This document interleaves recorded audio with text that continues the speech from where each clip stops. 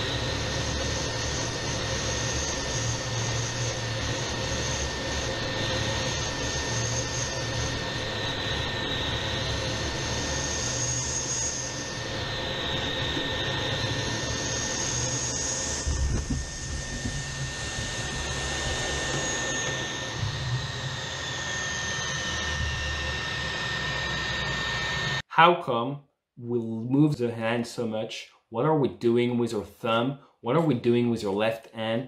Just why are we flying the aircraft that way? The reason is we're flying at 1.1 from VS. VS being stall speed. V for velocity, S for stall. If you're flying at 1.1 of VS, it means you're extremely close from stalling the aircraft. Your aircraft isn't behaving in a natural way. Most other aircraft, if you fly general aviation, if you're a Boeing 737 pilot, all that type of stuff, you usually fly around 1.3 VS. You have a 30% margin with your stalling speed. If you're flying with a stalling speed at 100 knots, you're flying your approach at 130 knots. You have tons of airspeed to play with, and if you're a bit too slow, it's okay. The aircraft characteristics aren't going to change too much.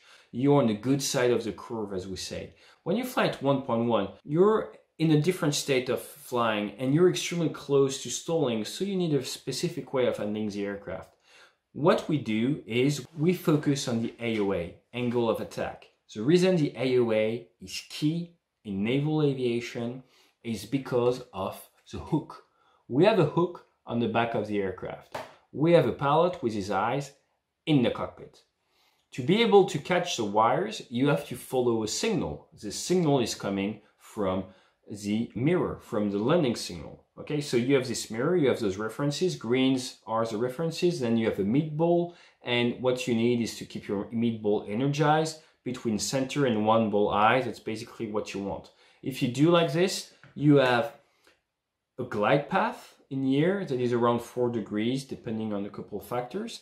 And you're going to be able to know if you're on glide path, above glide path if the ball is high, or below glide path if the ball is low. If you're too low, you'll see a red ball just go around. You're going to kill yourself. Going a little high. Power, power, power, power, So what you want to do is make sure you're always on the good side of the force because this glide path is like an ILS. It's going to tell you you're, hey, I'm right on a good position when you're far away because it's only so precise. The closer you get, the more precise it becomes. When you're 15 seconds away from landing, being uh, on the center bolt is about 15 meter in terms of altitude. When you arrive on touchdown, it's a couple centimeters. So you have to go on with the precision and to know exactly where you stand within those 15 meters, you want to move the ball eye a little bit. The landing system is fitted for your aircraft. I mean, it is changing if you're a Hawkeye, it's not the same setting as if you're a Rafale, it's not the same setting as if you're a Super E. You have a special setting because you're the pilot looking at the mirror with your eyes and being a super étendard, it is X amount of centimeters above your hook. And what we want is putting the hook on the wire number two, meaning the pilot eyes have to be at a specific location. And now if you're flying like that, it doesn't work. If you're flying like this, it doesn't work because the distance between your eyes and the hook change. It all has been computed for a specific AOA, for a specific attitude of the aircraft. Therefore, you need to keep it. If you keep it, then all your landing systems are going to be able to help you. If you don't keep what you're supposed to keep, then it's not going to be able to help you and you're never going to be able to land on a boat. Not going to work here anymore anyway. Other factor is your speed. If you're too fast, you have too much energy, arriving in the wires might cause extra stress, bad for the aircraft, bad for the arresting cables, bad for the boat, bad for everyone, might actually break. So we don't want that to happen. Therefore, you have to maintain a specific AOA, specific speed. How do you fly it as a pilot? There are basically two different ways to fly an approach with a super étendard coming on the boat. You have auto throttle, didn't work very well with auto throttle, just like on the Rafale, you are supposed to do everything with the stick only. You're supposed to let the auto throttle handle your AOA, and as you're making a correction with the stick, pulling down a little bit, it's gonna uh, make an automatic correction, so the throttle is gonna move back a little bit to enable you to automatically go back to your trimmed attitude. I'm not going to be discussing it because it's not what we see in the video. In the video, what we see specifically is manual mode. You're flying the aircraft manually uh, and you're taking care of the engine manually. At that point, your goal with the right hand, with the stick, is to maintain the AOA. The trim is helping you to be very precise if you don't use the trim, you're going to lose in precision. It's going to be tougher. So he's trimming to reduce the, the, stress on his hand. Doing like this is not as efficient as making very small trim corrections. That's why he's doing these trim corrections. He's overdoing it a little bit. Uh, from my personal opinion, he's on maybe 20% faster than what he, the norm is. So he's on the nervous side of the force. Usually people are less nervous uh, at the control, but still extremely nervous you're only like 20% off the regular pilot. As he's coming down, so with his right hand, he's maintaining the AOA. Now, how can you maintain the glide path? Because you want to maintain a glide path. So you want to maintain your eyes like that and you want to do that all the way down. So he's doing it with his left hand. He's doing it with the power. Oh, I'm slightly high. If I'm too high, I'm moving my power back a little bit. But by moving my power back, what is going to happen? I'm going to become too high in AOA. So powering back a little bit, moving the nose down a little bit to maintain the AOA. So that's one correction. Okay, so now my imagine my leaf, my lift vector was like that, making one correction. Now my vector is like that. Now I want to go back to what I was before because I was high but on the good side of the force. Now I'm doing a correction and now I have to do a counter correction to go back to what I want. So you're basically doing correction, counter correction, correction, counter correction the entire time and you're doing hundreds of correction in a 12 to 18 seconds groove. So let's have a look at the video a little bit. The video starts by saying it's a carrier landing with a super étendard and you see the boat. The boat is on the left, he's on downwind. He has his speed brakes out, he has uh, his gear down, hook is down, um, safety is down, so we're all good.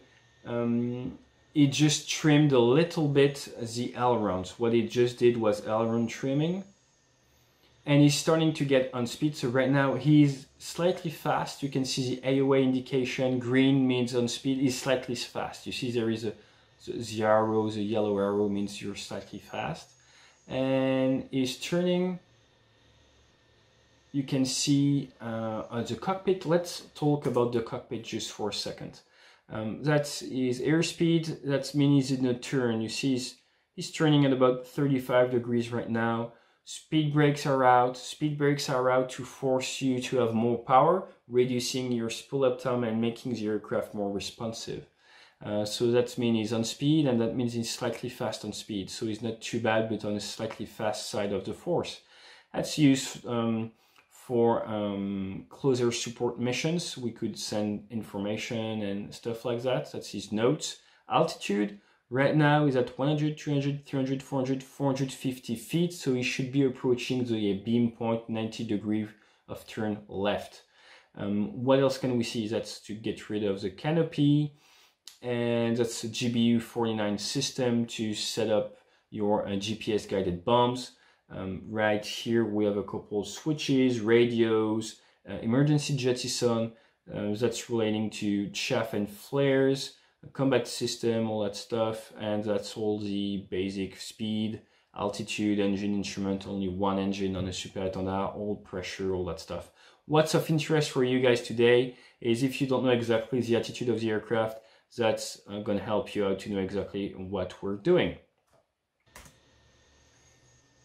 Okay, so now he's picking a little bit because he's at the 90 degrees, so he's asking himself, hey, uh, how should I turn? And what we're crossing right now, right here, is the wake of the ship. You are to cross the wake of the ship every single time because that's a boat and the carrier, the landing strip, if we can say so, is at 8 degrees like this. So you're going to have to go behind the wake of the ship, go on the other side to be able to finish your turn. Don't align yourself in DCS with the rear of the boat. And now we can see the boat. There you go. So we see the boat, we see the wake, and you see it's rolling out. As it's rolling out, what's going to happen? As I'm turning at 35 degrees, I do have a lot of extra drag created by my angle of turn. As I'm rolling out, what's going to happen? I'm going to have an excess in energy if I maintain my throttle at the same position. My throttle used to help me for maybe a 4 degree nose down situation. Um, a four degree glide slope and now I'm rolling out so I'm gonna have a lot of extra energy so I'm gonna have to throttle back quite a lot and then anticipate because with an engine um, like this you all a jet engine you have to anticipate all the time and you'll have to go through the burble as well so behind the boats there is some sort of weird wake and depending on the wind condition that day and where the wind is coming from it's going to be bigger or tougher but you have to be careful with that now is very precise. Why? Because it's flying the ball. The ball is much more precise than just hitting numbers as you're doing your final turn. He's on speed, maybe he's a bit low, slow. We can't tell, we don't see. That's the trim. So with the finger, he's trimming the aircraft, so moving the nose position. And now with his hand, he's doing all the correction. He's maintaining this point of thrust. He's trying to fill the aircraft. And the way, reason you're doing that is it's much more responsive. And yeah, okay, I'm doing that all the time. I need a little bit more power. Boom, one burst of power. I need more, boom, boom, two bursts of power. And that is enough. You have the muscle memory to know exactly what it's going to do. And I'm, I'm slightly low, boom, boom, and now it's enabling me to make the good corrections. It's a type of method to fly the aircraft and it actually works very well once you're used to it.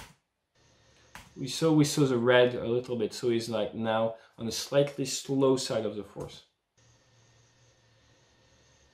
And now slightly fast, you see how difficult it is.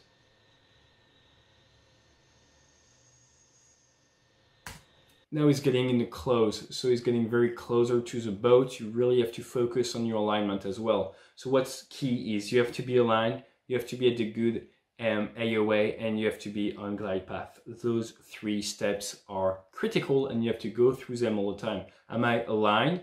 Am I at the good AOA? Am I on a good slope?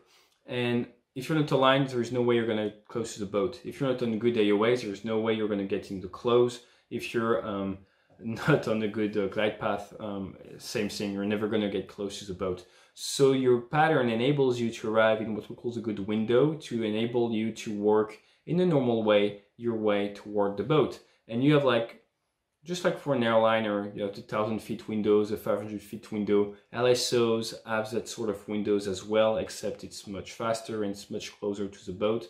And if you're too way off, so you won't take a chance and you'll have to come again and give it another shot.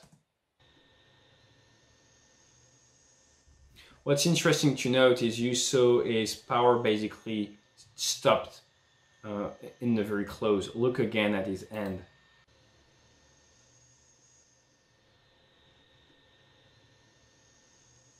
Did you see that? I'm going to play it again. Look at his left end. He's been moving it a lot. Couple more corrections.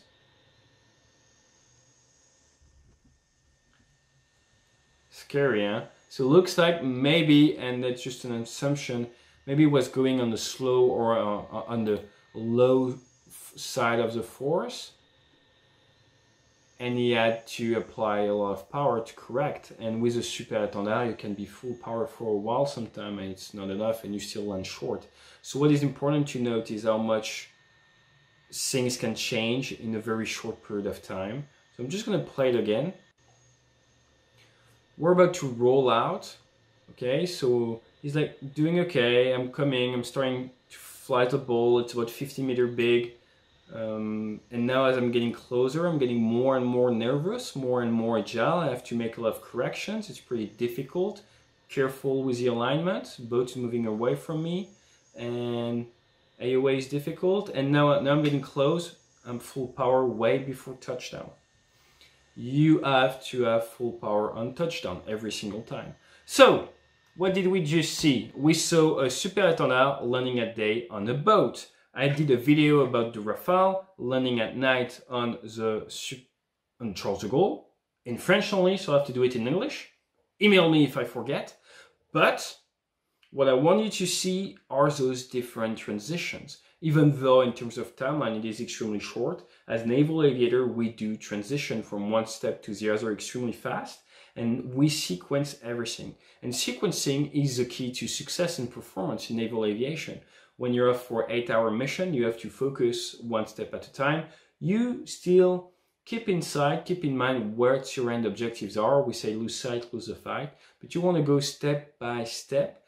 And as you've seen, you have the downwind, you have the first 90 degrees of turn, second 90 degrees of turn, you have the rollout, you have the middle, and then you have the close. And as you're getting close, as you might see, this, it changes completely. And then you land, and now you have to use taxi, you have to shut the aircraft down, you have to do the paperwork, you have to debrief, you have to do your uh, manager's job, all that stuff. Step by step works perfectly. That's how we landed the aircraft by focusing at what he needed to focus on at the right time. It is easier said than done, but hey, I'm still there. Tons of fighter pilots made it, so it works. Trust the method.